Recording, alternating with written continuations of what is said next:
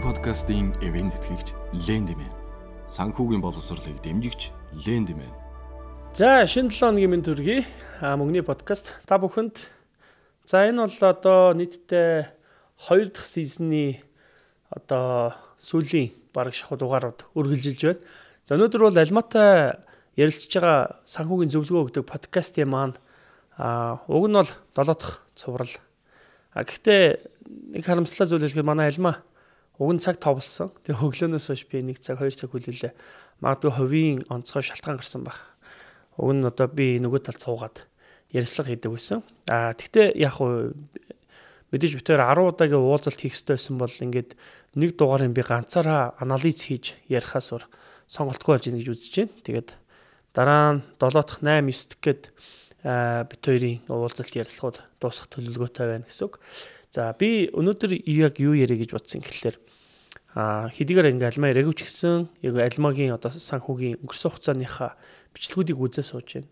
За хамгийн анхны бичлэг дээр бол одоо яг юу ажиглагдсан бэ гэхэлэр мэдээж нэг хүний танин мэдхүү ажиллаж байгаа. Хүний нөгөө нэг сэтгэн боддог, боддгоос тийс өөр санхүүгийн зөвлөгөөнүүд яваад эхэлсэн. Хоёрдугаарт би айгүйх яарсан бэлээ. Тэрийг яг өнгөрсөн бичлэгүүдээр харж байна л та.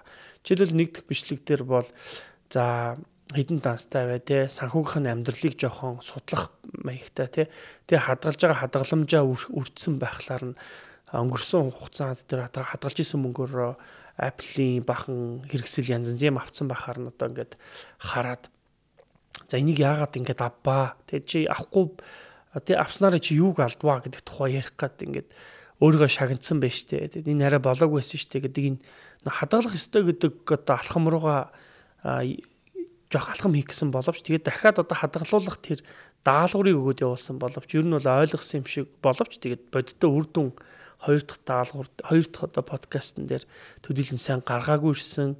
За гурав дахь подкастн дээр хоёр дахиад ярилцсан. Тэгээ би гурав дахь подкастн дээр бол юуны ямар сэдвэр ирсэн гэхээр хадгаламжаа ингээд дахиад үрдэг хүмүүс байдаг. Тэгээ тэр нь бол гол гол нь сэтгэлгээг нь л өөрчлөх гол асуудал юм байна гэдэг үүднээс дахиад ажилласан нөгөө нөхөр мөнгөө үрээд исэн. Сая 500 үрсэн, дахиад 2 сая гэл ингээл мөнгө нэмэгдээл үргээдсэн. Тэгэхээр энэ болгоны цаана ингээд аа нөө философи асуудал байсан юм байна. Юу гэхээр ер нь яагаад хадгалах ёстой гэж хоёрдугаар нөгөө нэг эргэн тойронд нь нөлөөлөгч хүмүүс айгуух байгаа. Тэр нөлөөлөгч хүмүүс нь мөнгө өрүүлэх айгуу том сэдлийг ингээд өгөөдсөн юм байна гэдгийг олж харсан. Тэр яг нөлөөлөгч хүмүүс гэдэг нь аа нөхрийг одоо жишээлбэл чи бол ингээ од те Тэгээд э, тийм учраас чи бас ингээ гайгүй юм хэрэглэх хэрэгтэй, өмсөх хэрэгтэй ч гэх юм ийм нийгмийн нөлөөлөл нэгдүгürt нөлөөлсөн байгаа. За нийгмийн нөлөөлөл гэдэг бол одоо надад ч нөлөөлж байна. Юу юм бэ гэхээр одоо гоё машин унж байгаа тий найз нар маань нөлөөлж байна. За гоё газар хоолнд орж байгаа хүмүүсийн стори нөлөөлдөг тий. За тэгээд одоо өөр юу гэдгийг ингээд хүм болгоны амьдрал санхүүгийн зөвлөгөө авч байгаа хүмүүсийн одоо амин санхүүгийн амьдралын хэм маягийг сонсхолоор надад бас нөлөөлөл үзүүлдэг ч гэдэг юм уу. Би бас ийм юм авах хэрэгтэй юм шиг те. Одоо чил сая одоо чил шинэ жил боллоо. Найзын гитарыг тоглож үзээл би ийм гоё гитартай л болмоор юм байна да гэл. Гэдэг чим энэ ингээд бүгд ингээд эргэн тойрноос бидэрт байнгын ингээд нөлөө үзүүлж идэг те. Сурчилгаа хийж идэг гэдэг ч юм уу. Сая өнөөдөр гэхэд л одоо реклам хүртэл нөлөөлж штэ. Сая одоо ямар ч компани сурчлагын хувьд энэ одоо жишээлбэл камерыг авах юм бол тэд өвийн хөнгөлөлттэй ч гэдэг юм уу те. Ингээд энэ болгон чинь бүгд нөлөөллүүд явж байна л та. Ингээд нөө алимад нөлөөлөл аягих нэгдүгürt бий болсон байна. Уусаа амьдралынхаа туршид нөлөөлдөг. Тэгээ ямар ямар нөлөөллүүд явсныг та санаж байгаа бах а фитнесийн найз нь одоо ийм боломж олгоё гэдэг фитнес Шангрилад фитнесийн хямдхан одоо төлбөрийн хөнгөлөлтөө нөхцлөөр гэдэг юм нөлөөлөл ороод ирсэн. Дунгууд нөхөр боломжийг алдахыг хүсээгүй. Хоёрдугаарт яасан бэ гэхээр а нэг хувцсны дэлгүүр орсон. Тэгсэн чи ингээд бас тий та ингээд их гоё харагч ингээд ингээд нөлөөлөл үзүүлсэн. Тэгээд нэр хүнднийх нь боё эмзэг сэдвүүдээр нь тулгуурлаж нөлөөлсөн. Ингээд нөхөр хувц авсан ч гэдэг юм уу. За ингэж явсан байна. За тэгээ бит хоёр бүр явж явж 3 дахь дугаар дээрээ ярилцлага хийгээд 4 дахь дугаар дээр бит хоёр уулзаад за тэгээ тэр тэр дугаар дээр юу яригдсан юм бэ гэсэн чинь дөрөв дэх дугаар дээр яг философи асуудал байсан юм байна гэдэг юм харж гарч ирсэн. За тэгээд яагаад хатгах ёстой гэж гэдэг анхныхаа сэдвүүрээ бид төр шилжсэн. Тэгээд нөхөр бол сая 500 дахиад 2 сая 500 ч үл ингээд нийтдээ 4 сая төгрөг хөвчгээд ороод ирсэн. Тэгээд тэрэн дээрээс эхлээд нөхөр нөгөө нэг юм алдаа хийж яана л та. Алдаа хийн гутаа ухаар л явагдаж байгаа байхгүй. Өө би яана ингээд айгүй их мөнгө өрцсөн ба шүү дээ. Ингээд зөвлөгөө аваад байгаа мөртлөө би мөнгө өрөөд шүү дээ. Тэгээд шалтгаан нэг юу байсан юм бэ гэсэн чинь Гэхдээ яагаад хадгалах хэрэгтэй юм бэ гэдэг дээр би ерөөсөө фокуслаг байсан ба штэ гэдэг тухайгаа ингээд ярьж эхэлж байгаа байхгүй. Тэгэхээр яг энэ дээрээс эхлээд бит хоёрын яг одоо үндсэн үр дагавар гаргах алхамуд хийгдэж эхэлсэн. За тэгээд тав дахь дугаар дээр бол та нар анзаарсан баг. Альмаа маш бага мөнгөний тухай ярьж ирсэн. Би ингээд 40 мянган төгрөгөө ингэж байгаа, тэгж байгаа. Тэгээд надад 20 мянган төгрөгөнтэй санагдаад хоолн дээр хэмнэлт хийгээд гээд. Тэгэхээр бид ингээд нэг айгүй хурдан ойлгож байгаа юм шиг боловч бодит амьдрал дээр хэрэгжүүлэх тийм амар байдаггүй. Хүн болгон өөр өөр байдаг тий. Хүн болгонд гол гол одоо жишээлбэл тэр асуудал нэг юунд байна. Нэгдүгürt нөлөөлөл байна. Нийгмийн нөлөөлөл байна. Гэр бүлийн нөлөөлөл байна. Тий. За хүрээллийн нөлөөлөл байна ч гэдэг юм. Энэ нөлөөлөл нэгдүгürt явж байна. Хоёрдугаар тухайн хүний тарих сэтгэх буюу харах өнцөг байна тий. А гуравдугаар тэр хүний нөгөө нэг юм хэрэгцээ байна л да тэр хэрэгцээ гэдэг зүйлийг бид ерөөсөө анзаарахгүй байгаа. Мөнгө хадгалах ёстой гэдгийн цаана а тэр хадгалаад одоо өөрийгөө төвчж байгаа тэр арга зал нь юу юм бэ те тэр хадгалах тэр сэтгэлгээ тэр сэтгэлийн төвчээрийг нэг юу өгöd байгаа юм бэ гэдэг талаар бид нэг анхаарах хэрэгтэй. Би нэг орлого хийгээд байгаа. Та нарт тэр орлогыг ингээ анзаарсан бол подкастн дээр альма чи ингээ ядаа сахара нэг болоод үзээч гээл. Энэ ингээ ямар ч сэдвтэй хамаардгүй юм шиг зөвлөгөө аваад байсан. Гэхдээ бит хоёрын ярилцлагыг үзчихсэн Солонгосоос зөвлөгөө авсан нэг бүсгүй холбогдсон. Тэгээ тэр бүсгүй юу гэж хэлсэн гэхэлэр хүүе яг үний юм бэлээ гэд надаас ингээд онлайнаар зөвлөгөө авсан л да өнгөрсөн 7 хоногт. Юу нэн тэр вэ асуусан чи а энэ цаахраа би хориод үтсэн. Тэгээ би ерөөсөй тисгүй юм худалдаад авчдаг байсан чинь тэгээд хүн чихэрний төрлийн юм хорчхолоор ингээд төвчөрт очдөг юм байна. Миний үрх бүр эрс багссан гэдэг байгаа байхгүй. Эрс багссан. Тэгэхээр энэ бол сахартай тийм уус юм худалдаж авах тийм сэтэлж багсдаг юм билээ гэдэг хариулт хэлсэн. Тэгэхээр би бол зүгээр яг ийм одоо алхмыг давхар нөгөө нэг одоо сэтгэл зүйн хувьд те хүсэ шийдвэр гаргалт явж байгаа дээ. Тэгэхээр тэрийг өхийн тулд аль мата нилээ тэр чиглэл рүү одоо явуулахыг одоо илүү зорж байгаа. За тэгээд нөгөө нэг яарж айгүйх данснууд нээх саналуудыг өгсөн маань том нэг талаараа бас хитрхи яарсан ч юм уу алдаа болсон байна гэж харсан. Тэрний юу юм бэ гэхэлэр а тэр яг ер нь ягаад ингэ данс санал болгоод байгаа юм гэхэлэр илүүх нөгөө нэг дараагийн шин данс руу фокус хийх болгонд хүн анхныхаа нөгөө хадгалж эхэлсэн одоо хадгаламжнаас холддог хадгаламжаа бодох бодлоос холддог зүгтдэг гэх юм уу да. За сүүлд одоо бид нэр подкастыг уулзааг нэг 10 гаруй хонсон байна. Нилээх шинэ жилийн ачаал явагдаад ах шиг байна. Тэгээ уцаа хайсан гэж би нөхрийг ойлгосон. Тэгээ уцаа хайчаад тэгээ шинэ уцаа авцсан байх шүү гэсэн. Тэгэд би тэрийг ер нь жоохон тодруулъя гэж бодож исэн. Яг ямар мөнгнөөс ч авчваа гэд тэ. Тэгэхээр энэ нэг хадгаламж руугаа дахиад халтцсан юм биш байгаа да гэдэг нь миний анхаарлыг илүү татчихээн. Хоёрдугаарт найзаасаа авсан зээл нь ер нь найздаа өгсөн зээл нь ер нь ямар төвшөнд явсан бол тэ тэрийгээ буцаж одоо авах алхамуд хийсэн болов эсвэл тэгээд ер нь зээлнээс юу сурсан юм бол би бүр маш сонирхолтой зүйл хэлээ. Сая бид хоёр ингээд одоо 7 дахь уулзалт болно гэд ингээд яриа явж байгаа хугацаанд бүр анх одоо жижигээтэй би подкаст хийжсэн. Тэгээ подкастын 10 дугаар дээр хамгийн сүүл жижигээ надад ямар одоо нийтлэг юм асуудал үүсгээд салсан байх гэдгийг та нар санаж байгаа бах. Жижигээ нөгөө нэг дүүдээ бизнесийн данснасаа мөнгө өгсөн 5 сая төгрөг зээлцсэн. Би бизнес данстай тэрийг өсгөх ёстой гэхэд Тэгээ дүү нөгөө нэг одоо махны чиглэлийн чиглэл нэг юм бизнес хийх гээд амар тэр амар тийм аятайхан сонсогдоод гэл ярьж ирсэн. Тэгээ сая жижигэ нар TEDx гээд олон улсын тэр илтгэлийн үйл ажиллагааг Булган аймаг зохион байгуулад тэн дээр би жижигэтэй тааралтлаа. Тэгээ жижигээг за чиний сав би жижигээг өрсөн. Намайг илтгэл тавиад өгөөч гэд. Тэгээ жижигээ хурж ирээ тэр тэр хооронд л битээр ярилцлаа. За жижигээ чиний санхүүгийн амьдрал ер нь юу болж байна те хоёулаа ингээд нэг хэсэг хугацааны дараа ярилцъя гэсэн. Тэгээ чиний хувьд тэр ярилцахад санхүүгийн амьдрал хэр өөрчлөгдөж гэсэн чинь нөхөр үгүй би нөх амар тийм юу яагаагүй. Тэгээ өнгөрсөн хугацаанд орлого баг хороогүй. Сүүлийн бүр ихнэр ингээд эхнэрээр баг ингээд орлогоор нь амьдарч байна. Тэгээд миний хувьд бол нөгөө нэг нэмэх 17 Pro Max гэдэг энэ шинэ төсөл рүү орсон байгаа. Тэгээд айгүй баг цалин авахгүй байгаа.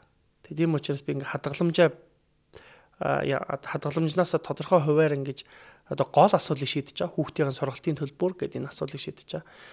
Тэгээд яасан гэхээр эхнэр ингээд амьдрал авч явж байна. За за тэгээд нөгөө нэг чиний нөгөө нэг зээлсэн асуулт чи болж ирсэн чинь одоо наач оройроо орж байгаа шүү гэж.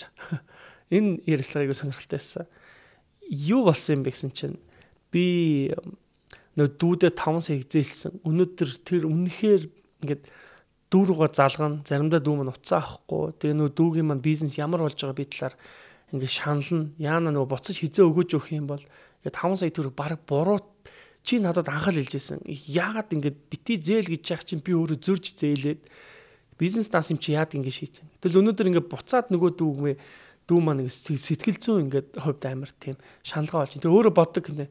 Яана энэ хүнд үед тийм ингээд цалиа авахгүй үед ядчил нөгөө бизнес данснасаа би ингээд цалиа авч явах байсан юм биш тэгээд чиний яриадсэн зүйлийг одоо ингээд ойлгож байна гэд.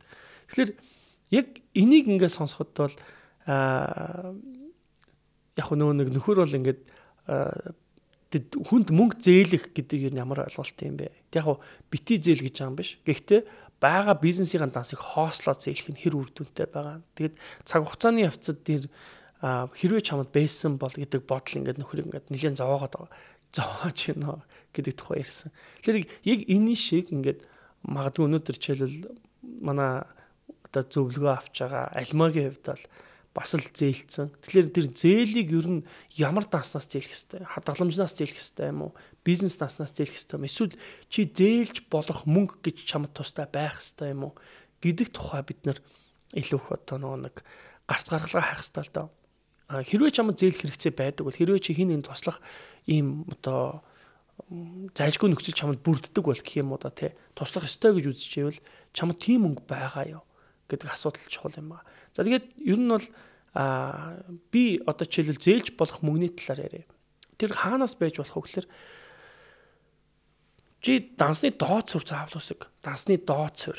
Тэр дансны доод сур гэдэг нь хадгаламж руугаа мөнгө хийчээд одоо битээр альма битээр яг гол зорилго тэр дээр явж байгааг санаж байгаа бол хадгаламжны доод сур чинь 100 мянга болох хэвээр 200 мянга болох хэвээр ингэж өсгөж гүрэлзэж явсараа чи сая ч юм уу 2 сая төгрөг хүргэн ч юм за сая төгрөг хүргэе гэж бодъё л та.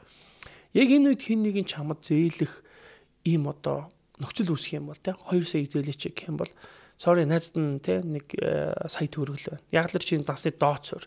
Энэ үед чи юу руу халдалт хийгээгүй гэхээр хадгаламж руугаа халдалт хийгээгүй буюу хадгаламж руугаа халдалт хийгээгүй гэдэг нь хадгаламжийн зорилгоос ухраагүй гэсэн. Хадгаламжны зорилго гэдэг нь болохоор яг юу юу яригадаад байгаа юм гэхээр Эхлээд бол бид нар ингээд хадгаламжныхаа дөнгөж ингээд одоо цэцгээр ярих юм бол зүгээр үрийг нь суулгаж юм гэсэн үг л дээ. Тэгээд дөнгөж ургаж эхлэегүй байхад нь цэцгэлээгүй байхад нь бид нар ингээд тэр аа тэр тэр үрийг шууд боцож суулгаж авах гэдэг ийм л асуудал үүсэж байгаа байхгүй. Би анх бол яг 5 сая төгрөг хүргэж яхад боцож суулгаж авчих гэдсэн. Одоо хүн надад зээлийг гээгүйсэн ч гэсэн үе ингээд би нэг юм утас авч тийм үү гэдэг бодол төрөөд идэв гэсэн. Тэгээд тэрийг тийм учраас би За утас авахгүй тул би яах вэ? Тэ утас авах хэрэгцээг би өөр юугаар хангах вэ? Аялалд явж одоо тэр юм авмаараа хэрэглэмээрээ сэтгэлээ одоо тий тайвшруулъя. Утас авахгүй тул би дахиад ямар алхам хийжсэнийг би та одоо санаж байгаа хэлий. Би бизнес данстай болцсон байсан. Тэр үед би за энэ утас бол миний хувийн хэрэглээ юм аа. Тийм учраас би хувийн хэрэглээндээ юм авчих юм бол миний данс хосорчноо. А гэтээ би авах хэрэгцээг хангах надад хэрэгцээ байсан. А тэгэн гут би одоо камер авсан. Тэр камер маань болохоор бизнес таснаас гарсан. Яг энэ бол подкаст зориулагдана. Энэ бол одоо юу гэдгийг ажилд зориулагдах юм а. Буцаад энэ одоо ингээд онлайн сургалт хийгдэх учраас тэрнээс буцаж мөнгө орно гэд. Тэр бизнес таснаас юм авах хэрэгцээг хангачиж байгаа. А нөгөөдг нь оновчтой худалдаа холт байсан үг бол бас байж чадсан. А тэгэд би юуг дэнсэлж болсон бэ гэхээр утас авах хэрэгцээг байсан. Тэгэд дэнсэлдэг гэсэн үг. Юу гэхээр А энэ утас бол би хувьдаа ашиглана. Тийм яг үүндээ ингээд энэ надад ингээд бодит юм өгөөж өгөхгүй. А би нэгээр нэг төрөгч болохгүй. Энэ утас байсан ч байгаагүй. Ч эсвэл одоо хуучин байгаа утсаа би аятайгаа хэрэгэлсэн ч бас болох юм. Эсвэл дэлгэцийг нь янзлуулчих гэх юм уу? Камерыг нь жоох ингээд муухай гараад байвал камерыг нь очиод засуулчих гэх юм уу? Ингээд байгаа юм дээр яаж ажиллах вэ гэдэг лимийг бодоод одоохондоо би авах болоогүй. Бизнесийн өгөөжин сайжрааг байна ч гэдэг юм дийслэх юм байсан. А гэтээ хэрэгцээг бол хангацсан байгаа байхгүй. Тэрийг тэр үүднээс одоо жишээлбэл а ингээд алхмуудыг хийж ижээ. А тэгээд энэ хадгаламжийн анхны тэр 5 сая, 6 сая, 7 сая гэд болоод эхлэх үед нь одоо яг хөлтөр тэр нэг жохоо соёолоод ингээд цэцэг маань ч юм уу тий үнс ингээ ургаад эхлэх үед бол дахиад тэрнээс нь жижигхэн мөчрийг нь аваад хажууд нь суулгана гэсэн үг л дээ. Одоо тэгж олон цэцэг болгоно гэсэн үг. Тэр тэр дараагийн одоо өрсөлдүүлж ургуулж байгаа цэцэг нь яг юу юм бэ гэхээр хадгаламжийг багцаар нь байлгаад утгагүй байлгаад ах юм бол үргэлдэх аюултай. Яг л нөгөө хүний нөгөө саяны хэрэгцээ үсээд авах хэрэгцээ үсээд ингээд ямар нэг юм авчиж урга урамшуулмаар санагддаг. Хүн бол заашгүй урамшуулах өөрийгөө урамшуулахгүй бол а удаан хүн өөрийгөө хорих юм бол рисктэй аюултай гэсэн юм байна. Хоёрдугаарт бол хүн нийгмийн нөлөөлөлд автдаг юм байна. Энэ нийгмийн цикл дотор бид нар амьдарч байгаа хүтнээс жишээлбэл би 2 жилийн жил 2 сарын хугацаанд би гээд тураад 86 кг руу очсон 107 кг-аас тэгээд маш богино хугацаанд 21 кг 2 сарын дотор хасж байсан. Тэг тэр үед би яасан гэхээр нийгмийн амьдралын хэм маягаас зүхтэж үтсэн байхгүй юу? Яг өглөө босоод яг хүмүүсийн хоололдог цаг, яг одоо гэр бүлийнхаа амьдралын хэм маягаас тэс өөрөөр амьдарч үцхэд амаргүй ч гэсэн тэмцэжсэн өглөөрт босчмосоод. А гэтэл эннээс би дандаа удаан байж чадахгүй буцаал нөгөө нэг жилийн дараа 2 жилийн дараа буцаал нөгөө нэг нийгмийн амьдралын хэм маяг руу орох магадлал өндөр байгаа байхгүй. Өнөөдөр би жишээл буцаж хоол ингээд итэх гэдэг болцсон буцаж таргалсан ч гэдэг юм уу фитнесээ алдсан ч гэдэг юм уу буцаж одоо явах хэрэгтэй ч гэдэг юм уу. Энэ болгоны ингээд буцаж алдаад байдаг. Яг л ингээд миний цикл энэ нийгмээс хидчнээ зугцсан ч гэсэн буцаал тэр энэ тойрог руугаа энэ том араа араа руугаа орох магадлалтай юм гэдэг. Яг тэрнтэй адилханаар нөгөө нэг а юм нөлөөллийн нийгмийн нөлөөлөл руугаа буцаж орох гэдэг учраас тэр мөнгө өрүүлэх нөлөөлч гэсэн байна. Тэр тэрнээс яаж зогтох вэ гэдэг аргыг л хайх гэж үзээд байгаа байхгүй. Тэрийг дадлуулахын тулд нийгмийн нөлөөлөл байна. За тэгээ хүний авах хэрэгцээ байна. За тэгээд хүн одоо хэрэглээнийхээ сувгийг зөв гаргахгүй бол тэр авах хэрэгцээг зөв одоо аргаар л тавихгүй бол үрх гэдэг ийм талууд биднэрт байна гэж харж байгаа байхгүй. За тэгэхээр энэ үүднээс л тэр данснуудыг нээх тухайл яриад байна гэсэн. Аа өнөөдөр би яг энэ одоо ганцаарчилсан зочин маань хэрэгүүлчихсэн зөвлөгөөнийхөө дугаар дээр анализ хийж ярихдаа би одоо жишээл альмад хамгийн түрүүнд юу явагдах ёстой вэ гэдэг зүйлийн талаар альмаа ер нь ямар төрлийн өвчлөлөгч вэ гэдэг тухай би та бүхэнтэй жижигхэн анализ хийж хуваалцъя. Тэгээ тэр нь жишээлбэл альмаа бол бүсээ чангалах цаг үе дээр явж байгаа тийм хүн гэсэн үг. Бүсээ чангална. Тэрний юу вэ гэхээр өөдөр хэрэглээгээ багасгана. 40 мянга 20 мянган төгрөний тухай ярина. Илүү хэмнэлт хийх ёстой тухай ярина. Аа тэгээд хэрэв буруу худалдаа авалт ч юм уу өөрөө шийтгэх тухай ярина. Тэгжээж энэ хадгаламжийг илүү юм бат бөх болгох тий хадгаламж руу хүрэхгүй тийм сэтгэлийн хаттай болох тухай л алхам хийх гэдэг. Тэр хадгаламжийг үрж болдог, хэрэгэж болдог а гэдэг сэтгэлгээг л өөрчлөх л хамгийн ихний одоо битүүрийн ярилцлага өөрчлөлтийн чухал үр дүн явагдах хэрэгтэй гэж бодож байна. А түүний дараагаар юу юм бэ гэхээр сая 6 дахь дугаар дээр альма дээр гарсан нэг гоё өөрчлөлт байсан гэхээр нэр ингээд нөгөө нэг хадгалж байгаа мөнгө чи юм аа гэд хүүхд шиг тий ингээд ингээд бойжуулаад бөөцөөлөл хөө ямар хөөрх юм бэ гэл ингээд тэг өсөөд дахин харах сайхан юм биш үү гэд. Яг тэрнээс мэдрэмж авч байгаа сайхан байсан.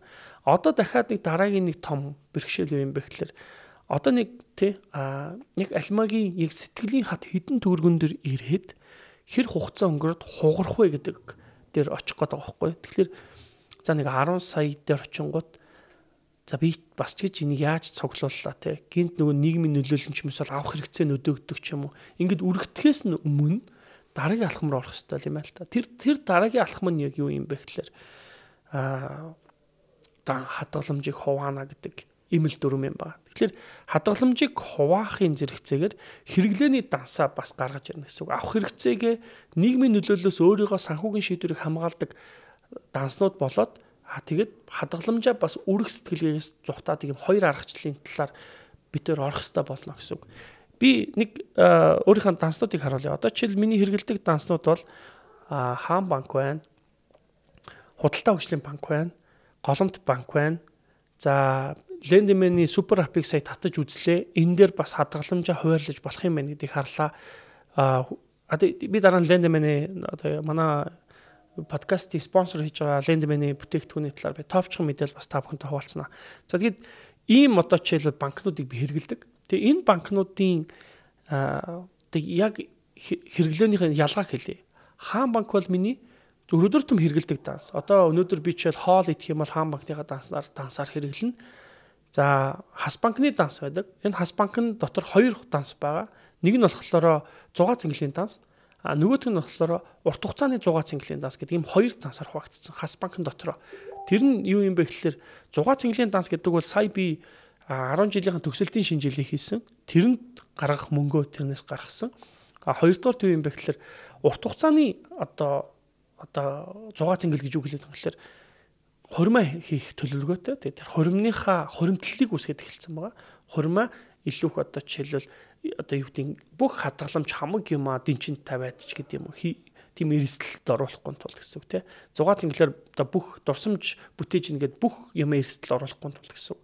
За дараа нь худалдаа хүчлийн банк. За худалдаа хүчлийн банкн дээр бол хадгаламжийн гол багцууд маань байдаг. Худалдаа хүчлийн дансан дотор жишээлбэл ямар ямар нэртэй данснууд байгаа талаар гээд одоо яг яг юу хэрэгжилж байгаа талаар би танахтай хуваалцъя. Миний хэрэгэлдэг данснууд бол худалдаа хүчлэлээр За тест гэдэг нэг данс байна. За тест гэдэг данс нь болохоор юаны данс. Тэр нь тэр нь болохоор одоо валютын одоо жишээлбэл ханшны зөрүү одоо мөнгөний ханшны уналтаас баланслж хамгаалах үднээс юанаар мөнгө хадгалж үзье гэдэг зорилгоор тодорхой хувийг юан руу хийж байгаа гэсэн үг. За байр төлөлт гэдэг данс байна. Тэгэхээр би нөө ипотекийн зээлээ төлдөг юм данстай гэсэн үг. За тэрэндээ орлогоос дандаа 20-30% ингээ хуваарилдаг. Одоо ингээд 12 сараас дуусаад 1 сараас эхлээд бүх байрны одоо лизинг бүх үйл ажиллагаанууд үргэлжлэгээр хэвэн үргэлжлээд эхлэн тэр нэг ковидын үеийн онцгой зогсолт байснууд нь үргэлжлэнэ гэсэн үг шүү дээ. За тэр тэрэнд ингээ мөнгө хадгалдаг. Дамжих данс гэдэг мөнгө данс байдаг. Анх миний хадгалж байгаа бүх орлогын маань мөнгө эхлээд дамжих данс руу очдог. Тэгээ би тэр дамжих данс руу мөнгө орсныхаа дараагаар юу хийдэг юм бэ гэхээр а дамжих данснаас саяны энэ олон данс руу хуваадаг хадгаламж байгаа бүх данс руу За тэгээд аяллалын данс байна. Энэ нь болохоор USD буюу долларын данс байгаа. За тэгээд байрныхаа зээл төлөлтийн хоримтлал гэж данс байна. Байрны зээл төлөлтийн дансаас гадна хоримтлал гэдэг хоёр данс байдаг гэсэн үг. Байрны зээл нь 800 мянган төгрөг байдаг. Би болохоор сая төгрөгийг байр байруугаа хийдэг. 200 мянган хоримтлал дансанд ороод 800 мянган цаашгаа төлөгддөг гэсэн үг. А хоримтлагдсан тэр 200 мянган яадаг юм гэхээр хадгалагдаж явсаар хагаад заримдаа намайг ажилгүй үед, заримдаа намайг аялалд явсан үед, заримдаа намайг өвдсөн үед энэ хадгалагдсан одоо байрны хоримтлын данс маань миний байрны зээлийг төлдөг гэсэн үг. За тэгээд дараа нь юу юм бэ гэхээр а ингээд нэгдүгээр үе, хоёрдугаар үе, гуравдугаар үе гэх тоглоомын данснууд байгаа. Энэ тоглоомын данснууд маань болохоор ямар зорилготой юм гэхээр хоёр том үүрэгтэй байдаг. Нэгдүгürt бол тоглоом гэдээ яг нэрлсэн гэхээр нэгдүгээр үеийг 10 сая, хоёрдугаар үеийг 15 сая, гуравдугаар үеийг 20 сая гэдэг ингээд үргэлжлэнэ гэсэн үг тийм. Яг л энэ нэг нөгөө нэг би зүгээр л ингээд хідэн төрхтэй болно гэж тооцоос илүүтэйгээр зүгээр ингээд багц багцлаар үйлчийл гэж бодсон. Ингээд эндээ би тоглоомын данс гэж нэрлэлцээ. Тэгэд энэ данс нь болохоор нэгдүгürt эрүүл мэндийн гинтийн асуудал үүсэх юм бол би энэ данснаас хэрэглэнэ гэж боддог. А тэрнээс эрүүл мэнд гэж бичээгүй. А хоёрдугаар юу юм бэ гэхээр бас нэг хоёрдугаар үеийн доллараар одоо хадгалж байгаа нэг 5000 гаруй доллараар хоёрдугаар үе дүүргэн гэсэн үг юм байл л та. За энэ дансны бас нэгөө талынхын зорилго юутай холбоотой гэхээр гэртээ ямар нэгэн хөрөнгөний ч юм уу худалдаа авалт хийхэд ч юм уу ийм шийдвэр гаргана гэсэн ийм байдлаар ханддаг. За би тэгээд сая сүүлд гарсан өөрийнхөө амьдралд гарсан зүгээр энэ энэ дансны тайлбартай холбоотойгоор нэг жишээ хэлье. Аа сая ихнэртэй би машин худалдаж авч өгсөн. Тэгээд аа манай ихнэр жишээл би өөрөө жишээлбэл бизнес данснасаа аа 2 жил одоо бизнес данснасаа цалин авч явж хагаад 2 жилийн дараа би өгөөж авсан. Би 250 мянгаар анх цалин авч хэлсэн өөрийнхөө одоо ном борлуулалт ч юм уу сургалт мургалтын орлого олдог данснасаа гэсэн үг шүү дээ. За тэгээд тэрнээсээ ингээд цуглуусаар сард 250-ыг аваад дараа нь 500 мянгаыг аваад яг ийм амьдралаар амьдарч исэн чинь нэг ийм юм үссэн. Би нөө нэг авах хэрэгцээ маань үссэн. Би хизээ шагналаа хүртэх юм байдаг. Тэгээд би бизнес дансандаа мөнгө хөрөмтлүүлж исэн. Тэгээд тэрнээсээ би нэг удаа том татаа хавлт хийгээд тэгээд өөртөө аа машин авч ирсэн. Тэгээд дундаа урын нэг юм джип машин авч ирсэн. Тэгээд би машин авчихлаар манай гэр бүлийн хүн бас одоо бас адилхан хэрэгцээ байгаа шүү дээ. Хувьдаа өөрөө бас машин хэрэгтэй болмоор. Тэгээд би эхнэртээс хай ингээд машин авч өгнө гэж хэлсэн. Тэгээд тэр өсөөр ингээд авсан зарим хувийг нь зээлэр шийдсэн. Тэгээд 50-аас дээш 50 гаруй 50%-ийг нь орчмыг нь мөнгөийг өгсөн баггүй. За тэгэд зээлийг нь би бас тэдэн хувийг төлөё гэдэг ийм хоёлоо хамтарсан нэг иймэрхүү тохиролцоо хийсэн. За тэгээд машин нь болохоор 30 гаруй сая төгрөгийн үнэтэй машин болсон. Аа хаанаас мөнгө гарсан бэ гэдэг асуулт. Одоо нөгөө нэг саяны тоглоомын данснууд ба шүү дээ. Тэрнээсээ би нэг үеийг нь авсан гэсэн үг байхгүй юу? Ойлголт ингээ энэ юу юм бэ гэхээр эрүүл мэндийн данс руу халдахгүй а гэхдээ а одоо юу гэдэг ажлынхаа ажлынхаа данснаас тодорхой хэмжээний бас би өгөөж баг зэрэг мөнгө авсан. Тэгээд саяныхаа энэ одоо хадгаламжныхаа дансны үе буюу тоглоомын нэгдүгээр үеийнхаа данснаас мөнгө аваад ингээд би их нэртэй машин авах одоо мөнгөний шийдэж өгч байгаа байхгүй. Тэгэхээр энэ бол яг зорилгын дагуу ажиллаж байна гэсэн үг. Нэгдүгürt бол би бизнес тасаас өгөөч хүртэх болцсон байсан үг бол болцсон байсан.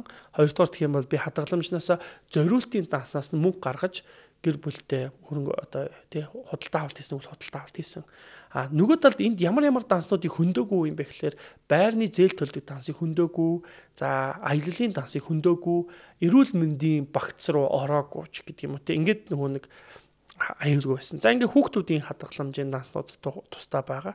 За энэ болгон чи ингээд бүгд юу юм бэ гэхэлэр өөр өөрсдийн гэсэн ийм үүрэгтэй данснууд ингээд явж байгаа учраас хадгаламжийг ингээ олон хувааж байгаа шалтгаанууд нь. Тэгэхээр хизээ хадгаламжийг хуваах юм бэ гэхэлэр хадгаламж хуваагдах цаг нь бол чиг үрэх гээд байх үедээ хадгаламжаа буцаж одоо гаргах одоо системийг бас давхар хадгаламжийг үрэх гээд бол хадгаламжаа хуваа.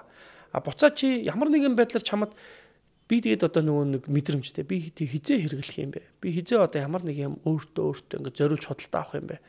гэдэг асуултанд хариулахын тулд өөрийнхөө хэрэглээний одоо сувгуудыг дансаар үүсгэж гэж байгаа. За хаан банкны дансаар бол өдөр тутмын хоол хүнсээ авдаг. Зугаа цэнгэлийн дансаар бол баяр наадам тэмдэглэх юм дээр зориулдаг. А бизнес данс болохоор голомтон дээр байрладаг. За бизнес данс яадаг юм бэ гэхээр бизнесийн одоо тоног төхөөрөмж, орлогоо нэмэгдүүлэх, номны одоо жишээл хэвлэл энэ болгонд бизнес данс ажилладаг. За подкаст подкастын хөрөнгө оруулалт бизнес дансаас явдаг.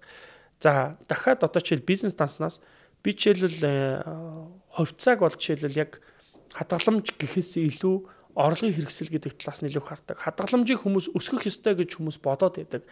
Өсгөж л та. Одоо яг манай нөгөө нэг хиний үйлчлүүлж байгаа одоо алмагийн хувьд одоо яг толгоо яг ингэж ажиллаж хэлж байна л да над руу ингээ 2 3 ч удаа чат бичсэн. Мөнгө ах энэ elf гэдэг нэг юм coin гарсан байна. Авчих уу? Тэ. А яг энийг авчих уу гэдэг нь нөхөр хадгалаад ихэлсэн. Тийм учраас хадгаламжаа хурдан өсгөмөр санагдаад байгаа. Яаж энийг хурдан өсгөх вэ?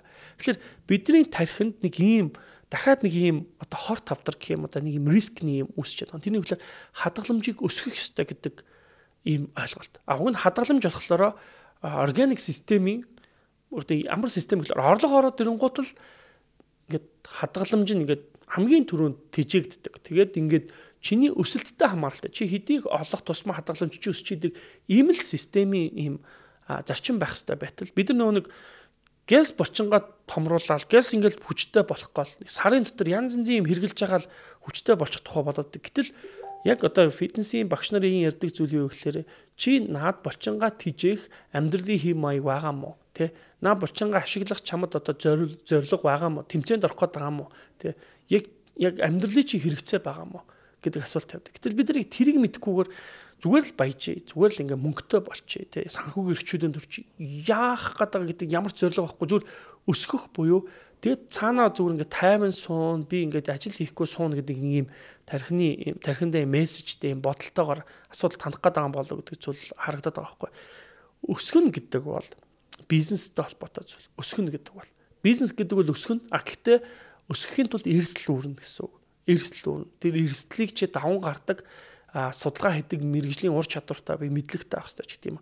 За ингээд тэгэхээр одоо манай альмаа бол яаж тэр хадгалж байгаа мөнгөийг ингээд өсөж байгааг нь хараад хүүхдээ бойжуулж байгаа юм шиг санагдаад байна гэсэн. Нөгөө нөхөр энийг өсгөх гээд байгаа байхгүй юу? Яаж өсгөх вэ? Яавал одоо энийг нэг тэг 3 сая 4 сая болж чинь 5 сая яаж 5 сая болох гэл те орж ирэнгуут л шуналтаагаар ихээр одоо 90% хувиа хийгээл те 95%ийг хийгээл 5% буюу 100 мянган төгрөг өөртөө авч үлдэж амьдрч амьдрал цаана ямар риск үүсэх вэ гэхэлэр хадгаламж нь нэгдүгээр хуваагдаг байгаа нэг нь нэг л бүхэл явж байгаа тэнгуү тэр бүхэл лимиг бүхэллэгээр хараад яг 10 сая төгрөгийг 10 сая төгрөгөөр тэнцэх юу вэ? Гой компьютер байна. 15 саятай тэнцэх юу вэ? Гой утас байна. 30 саятай тэнцэх гоё юу вэ? Машин байна. Оо энэ байр арай хямдхан ч юм уу? Юу ингэж үрэх гээд байдаг. А нөгөө талдаа өөр өөртөө дэндүү бага мөнгө авч үлдээд. За би ингээд ердөө ингээд 100 мянган төгрөг авч байна. Гэтэл цаана нөгөө хүн өөрийнх нь авах хэрэгцээ, өөрийг урамшуулах хэрэгцээ, нийгмийн нөлөөлөл гэдэг энэ олон зүйлүүд нь энэ хүний шийдвэр гаргахад нөлөөлчихөж байгаа. Тэр сахар, чихрэн ч гэсэн үгүйтэй альма чи хэрэглээч гэд нөлөөлчихөж байгаа. Энэ нөлөөллөөс болоод юу хийх магадaltaй вэ гэхэлэр буу яд нэг гинт гинт одоо нөгөө нэг амар ухаарсан юм шиг гарч явангуудаа шууд мөнгө үрж эхлэх магадaltaй гэдэг тоглоомор гол орчно гэсэн үг л дээ. Тэгэхээр Би бол зүгээр энэ энэ болгоны цаанаас зүгээр миний зүгээр олж харж байгаа зүйл бол би бол алмагд хийж харж байна. Одоо одоо бол нэгдүгürt бол хадгаламжаа бүсэж хангалаад хадгаламжаа нэг чи хэд хүртэл тисэх юм бэ гэдэг үзэн. За ингээд яг 10 сая хүрээл ч юм 15 сая хүртэл уусаа хүн тисгээ байна. 10 сая 15 сая энэ хоёр анхны учрал учраас гэсэн үг. Тэгээ энэ үед хүн хадгаламж руугаа халтах гад хадгаламжаараа юм авах гад ингээ хараад тах юм бол хуваах хэрэгтэй гэсэн. А би сая хоёр чухал юм ингэж жоо хольж яриад байгаа шүү. Тэрний хүлээр тэр хадгаламж бол орлогын хэрэгсэл биш гэдгийг та нар ойлгочвол бас их хэрэгтэй юм аа. Энийг яаж өсгөх үү? Энийг яавал тэр coin руу хийх үү? Энийг хувьцаа руу хийгээд ингээс өсгөх үү гэд. Хэрвээ чи өсгөөд эхэлсэн л бол тэр нэгэнт бизнес данс болоод эхэлж байна гэж ойлгох хэрэгтэй. Бизнес данс бол өсгдөг аа тэгэд эрсдлээ ингээд давхар үүрдэг тийм зүйл гэсэн үг. Тэгэхээр тэгэхээр айлуулах хадгаламж бол зүгээр чиний орлоготой уйлдэж өсч идэг юм систем юм а гэж харвал уул нэх ирүүл а нөгөө талд юу хэлээд нэхлээр инфляц буюу мөнгөний ханшид унахгүй байхын тулд тэр хадгаламжийг хүүн нөлөөлөх ёстой эсвэл одоо тэрнээс арай жоохон дээр ингээд байж яхахын тулд те хувьцаа тодорхой хэмжээний багцсан ах ёстой ч гэх юм уу тэгж харуул их сайн баг. Би бол яг хадгалт бизнес дансныхаа мөнгөөрөө юу хийдэг вэ гэхээр хувьцаа авахыг хэрмэлцдэг. Тодорхой хэмжээг нь хувьцаа авдаг. За ингээд хувьцааны алхам мод хийгээд эхэлсэн байгаа. За бас coin аваад тест хийгээд үтцсэн байгаа. Ингээд зүгээр энийг бол бизнес таснаас хийж хадгаламжаараа бол биш. За тэгээд дараа нь яд юм бэ гэхэлэр надад жишээлбэл одоо энэ бизнес данс, бизнес дансны дотор бизнес хэрэгсэл авах юм одоо хувийн хэрэгцээг хангах юмнууд. Гэт энэ дансуудыг ингээ харах юм бол а ер нь бол харилцах данс маань бол банк хаан банкны данс. Энэ хэрэгэлдэг данс гэсэн үг. Харилцах дансын дотор ээжийнхээ халамж үзүүлдэг данс байгаа. Энэ бас хэрэгэлдэг данс гэсэн үг. А юуны хас банкны данс энэ 6 цэнгэлэн энэ бас хэрэгэлдэг данс гэсэн үг. Хадгаламж маань болохоор аяллалын аялалд зориулагддаг бас хэрэгэлдэг данс сууг байна. А сая хадгаламжнаас би нөгөө нэг тоглоомынхаа үеэс их нэртэй машин авч гисэн. Энэ бас тодорхой хэмжээнд хоримтлогдож байгаа хэрэглэгдэж байна. Бас хэрэглэгдэж байна. Тэгэхээр ер нь бол хэрэглээнийхаа данснуудыг одоо юу гэдгийг өөрийн гэсэн зориултын дагуу сувгийн дагуу гаргаж өгч байгаа. Тэгэхээр би өөр өөрийгөө өөр өөрөөсөө л болгоомжлоод байна л да. Хэрвээ би өөр өөртөө ийм хэрэглээний данснууд гаргаж өгөхгүй л бол би нөх хадгаламж руугаа дайрчих аюултай. Тэгэхээр хүн нэг талдаа хэрэглээнийхээ данснуудыг зөв гаргаад нөгөө талдаа хадгаламжаа зөв багцлаад одоо юу гэдгийг задлаад эхлэх юм бол хэрэглээнийхээ дансыг ч баг багаар үүсгэн а хадгалдаг дансаач өөрийн зорилготой болгоод эхлэх юм бол буюу хоёр талд ийм зүйл хийгээд эхлэх юм бол өөрийнхөө нөгөө нэг буруу шийдвэр гаргалтаас өөрийгөө хамгаалах боломжууд нь бүрдэх юм байна гэдэг талаас нь харуул илүү сайн л гэсэн үг л дээ. За өнөөдөр би та нарт яг зүгээр яг альматыг хийж байгаа подкастын хувьд бол альма бол бүсэж хангалтаар явж байгаа. Хэрэг үрэх гээд байх юм бол одоо дооч хөрийг бүтээх хэрэгтэй. За тэгээд тэр зээлийн талаар ойлголтоо олж авах хэрэгтэй. Ямар данснаас зээл өгч болох вэ гэдэг ийм дансыг үүсгэх ёстой. А тэгээд хадгалж байгаа мөнгөө өсгөх гэдэг үд талаар битгий хараасаа. А бизнес данснаас чи хэрвээ одоо риск хийгээд үзье мэдхгүй зүйл рүү мөнгө өсгөөд штэ гэдэг одоо ийм сэтэл байгаа даа бол тэрнээс баг зэрэг хөрөнгө оруулалт хийгээд үч болно гэдэг ийм сонголтыг санал болгож ярилцж байгаа. Тэгээд өнөөдөр орлогын талаар хоёр идэх ярилцъя. Бизнес гэдэг яг юу юм бэ гэдэг тухай ярилцъя гэж одоо бодож исэн. Тэгээд харамсалтай мэдээж хувийн ажил гарсан баг. Тэгээд би ганцаараа уулзалт ярилцлага хийж байна. За ингээд 10 дугаарын туршид санхүүгийн боловсрол олгох энэ одоо санхүүжуулагч байгууллага Lendman байсан. Тэгээд хүмүүс надаас нэлээд их зүйл асуусан. Юу гэхээр Lend Lend бол ийм хоёр төрлийн гол үйлчлэгээ үзүүлж байгаа байгууллага, банк санхүүгийн байгууллага. Хүмүүс банк санхүүгийн байгууллагад нэлээд ийм жоохон дурамчхан ханддаг. Би ч гэсэн хожин тийм байсан. Амар өндөр хүүтэй. Тэгээд бас ингээд шууд аппликейшны зээл олгочдөг. Тэрнээсээ болоод хүмүүс нөгөөтөө төлж чадахгүй ингээд зовж ин ч гэдэг юм ингээд шүүмжлээд байдаг. Гэтэл бид ийм байх ёсгүй болохгүй гэж ярьдаг ийм утгагүй яриагаар бид аюул олон жил ингэж утгагүй энэ утгагүй яриад аюул олон жил явж банк биднийг шулдаг. Тэгээ яах гэсэн. Чамд тэгээ банк байхгүйгээр чи яг яамаар вэ? Банкгүй ингээд амьдрах боломж байгаа мó. Тэг яамаар вэ? Зүгээр ингээд улсаас мөнгө аваад ингээд зөвхөн Монгол банк л байх хэрэгтэй юм те. Эсвэл банк усуудтай хүнийг шулж яах гэлтэй. Гэхдээ чи зээл авах болчих л доо те. Чи л зээл авсан дээ те. Тэгээ буруу зээл аваад чи буруу зарцуулсан бол буцаага чи төлөх үүрэгтэй. Ер нь бол ингээд хэрэв банк ус байхгүй байсан бол бид нар ер нь яаж хийдэг гэсэн гэхээр яг одоо энэ альма ч юм уу ингээд төв хүмүүс хоорондоо зээлдэг. Энээс болж амар том хагарал үүсдэг. Ийм жишээнүүд айгүй олон таарлаж байна ах トゥ хоорондоо мөнгө зээлцсэн. Тэрнээс болоод ингээ ах トゥ угийн асуудал нь бүр хоёр тишээ болцсон. Итгэлцэл нь алга болцсон. Бүр ээж ав гэр бүлийн хооронд хүртэл санхүүгийн амар том маргаанууд байгаа гэдэг. Тэгэхээр ер нь бол ингээд найз нарыг хооронд нь салгадаг мөнгөний асуудлуудыг хамгийн сайн менеж хийж өгч байгаа. Тэгээ ялангуяа жоохон нэг юм бизнес зарчим руу оруулж байгаа нэг давхар чухал үүргийг гүйцэтгэж байгаа. Давхар одоо юу гэдэг нөгөө нэг юм айгүй олон бичиг баримт шаарддаг энэ үйлчлэгээс илүү татгалзаад арай хялбар аргаар ингээд мөнгө мөнгөний хэрэгцээг хангах энэ зээлээр хангах боломжийг олгож байгаа зүйлүүд бол банкусууд байна гэж би бол одоо яг тэгж хардаг болсон. Тэгээд энэ одоо салбар бол үүргээ гүйцэтгэл явж байгаа л бизнесийн байгууллагууд юу гэхээр санхүүгийн үйлчлэгээ гэдэг бол хаа газар одоо үйлдвэрлэл те явж байгаа нөхцөлд бол одоо байх л ёстой салбар л да. Тэгэд энэ салбарын нэг хэсэг нь бол банк ус юм байна гэж одоо харж байна нэг юун дээр санаж байна. Зээлийн карт. Зээлийн карт үнэхээр хэрэгтэй юу хэрэггүй гэдэг асуултан дээр бид нэр ярилцчихсэн юм. Зээлийн карт ямар давуу талтай вэ гэдгийг нэг бодоод үзээрэй. Ямар давуу талтай юм гэхэлэр чи заавал найзаасаа мөнгө гуйж одоо юу гэдгийг те а найзаагаа зовох хэрэггүй болно тий. Хоёрдугаарт бол гинтийн чамд ямар ч одоо шаар тооцоолгүй үед те эрсдэл үсгэж зээлийн карт чамд дэмжлэг болно. Гуравдугаарт юу юм бэлэр зээлийн карт чамд яг ингээд өөрийнхөө орж ирэх ирээдүйн орлого болоод өөрөөсөө нөөцөд байж ах хэвээр суур одоо нөө дансны доод суур гэдэг шиг рискийн үед одоо ингээд хэрэгжилж идэг юм лимитийг чамд үсгэж өгнө. Эсвэл хэрэглээний хэрэглээ чинь магадгүй нэг сая ч юм уу 2 саяыг хэрэгжилж болдог болцсон. Тийм үед бол чи заавал цалингаа хүлээх орон зээлийн карта хэрэглээд цалинч ороод ирэхэд яг тэр 2 саятай ч юм уу лимиттэй тааруулаад төлдөг энэ амьдралын хэм маягаар бас орж болно гэдэг юм. Ингээд хэрэгцээн дээрс үүссэн цаг хугацаанд энэ зээлийн карт хүмүүст бас хичээл заадаг гэдээ бид ярилцчихсэн. Яг тэрнтэй адилхан зээл тавих нь өөрөө а тэр хүнийг одоо жишээлбэл дараагийн одоо жишээлбэл сургалтанд суулгаж байгаа. Гол нь бизнес зээлөө эсвэл одоо юу гэдгийг те а яг юу гэдгийг хөрөнгийг хөдөлж авахта хувааж авч байгаа зээлүүч гэдэг юм уу. Энэ болгоныг бид нар аягүй сайн судалж үзсэж хэрглэж тэр хэрэглээний соёлыг сурах ёстой юм гэж харж байна. А нөгөө талдаа бол за зээлээс гадна би ч л уцаа зээлэр авсан. Тэгээд ягаад тэгэхээр би өөрөөсөө гинт байгаа мөнгө бүгдийг өрчмээрг байгаа учраас би одоо зээл авсан гэсэн үг. Би нэг зүйл дээр зээл дээр нэг зүйлийг танд санал болгоход мөнгөтэй мөртлөө зээл аваарай гэдгийг саналыг хэлээ. А мөнгөгүй мөртлөө зээл авна гэдэг нь амар том сул тал. Чиний орлого баталгааг учраас гэх юм уу та. А нөгөө талд хадгалах бүрэн боломжтой. Яг энэ бүтээгдэхүүнүүдийг банк усуудад ингээд хориг тавьсан байдаг учраас илэрхийлэх нь жоох хэцүү байдаг юм шиг байна. Жишээлбэл би бол өөрийнхөө хадгаламжийн нэг багцыг одоо оруулахаар алхам хийгээд эхэлж байгаа. Тэрний үгээр одоо жишээлбэл супер ап дээр хүмүүс надаас асуусан байсан. Яаж тэгээд ленд төр чил мөнгө хадгалах юм бэ гэдэг асуулт. Энд бол plus гэж үйлчлэгээ байдаг.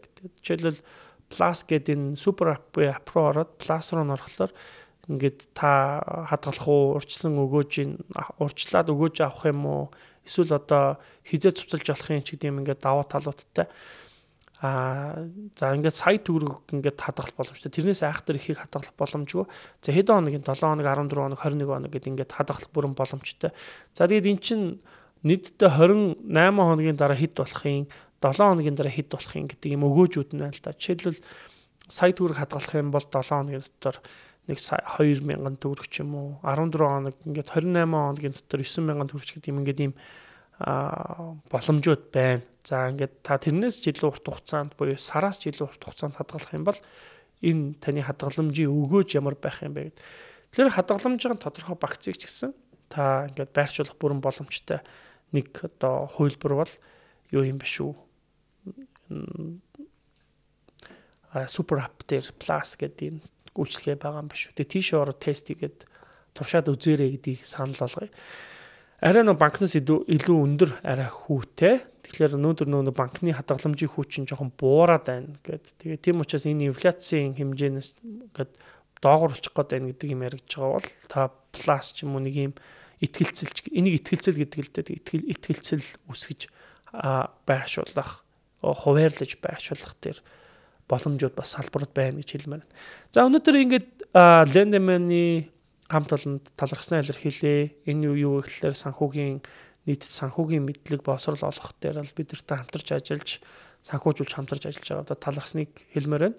А нөгөө талдаа гэм бол альмад нэг шийтгэл оногдуулж байгаа. Энэ дугаараар ямар шийтгэл вэ гэхэлэр 10 дугаар битэр хийх ёстой. Тэгээд би өнөөдрийн дугаарыг бол нэг дугаар тооцсон.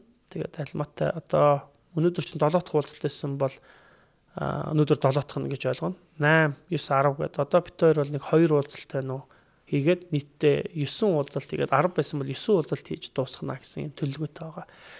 За ирэх ирэх одоо 7 хоногийн дугаараар эргээд бүгдээрээ зочинтойгоо уулзалт хийя. Ингээд манай хоёр дахь одоо жишээлбэл улирлын подкаст маань Альмагийн дугаар ярилцлага маань дуусаад тэгээд дуусах юм байгаамаа. Тэгээд дараагийн 3 дахь удирлын дугаараар шин зочинтой одоо шин одоо асуудалтай бүгдээр нүр тулаад өөр өөрсдөө ярилцлага одоо юу гэдэг туршлагыг хуваалцсан ийм подкастуудыг үргэлжлүүлнэ гэж хэлмээр байна. За намайг идэвхтэй анхааралтай сонсон та бүхэн талархсан илэрхийлээ би бас та бүхэн сая өөрийнхөө хувийн дансны системийг хуваалцлаа бүсээ чангалах халимаагийн талаар ярьлаа. Тэгээд мөн бас дараагийн ээлжинд яах юм гэхээр хадгаламжийг задлах болоод хэрэглээнийхээ дансны сувгуудыг ингээ алхам алхмаар үүсгэж явах юм бол та өөр өөрийнхөө буруу шийдвэрүүдээс сэтгэл хөдлөлөөс гаргаж байгаа алдаануудаас зогтох боломжтой тухай а туршлагаасаа хуваалцаж ярилцах ийм боломж өнөөдөр бүрдсэн гэж бодож байна. За эргээд уулзцгаая баяртай.